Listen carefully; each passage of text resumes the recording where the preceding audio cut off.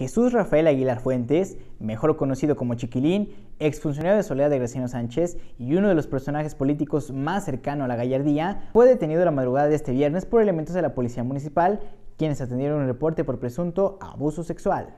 La Fiscalía General del Estado confirmó a Noticiero San Luis Potosí que Aguilar Fuentes fue puesto a disposición en la madrugada tras ser acusado de realizar tocamientos a un familiar. Aunque algunas versiones indicaban que se trataba de una menor de edad, personal de la Fiscalía aseguró que la víctima es mayor de edad. El chiquilín habría sido denunciado por una de sus hijas tras haberlo sorprendido en el baño abusando de su familiar. Aguilar Fuentes se desempeñó como director del Sistema Municipal de Bibliotecas de Soledad de Graciano Sánchez durante el trienio 2015-2018. En el proceso electoral del 2018 fue colocado en la tercera posición de la lista del Partido de la Revolución Democrática, PRD, como candidato a diputado local por representación proporcional. Para Noticiero San Luis Potosí, Alexis Giovanni.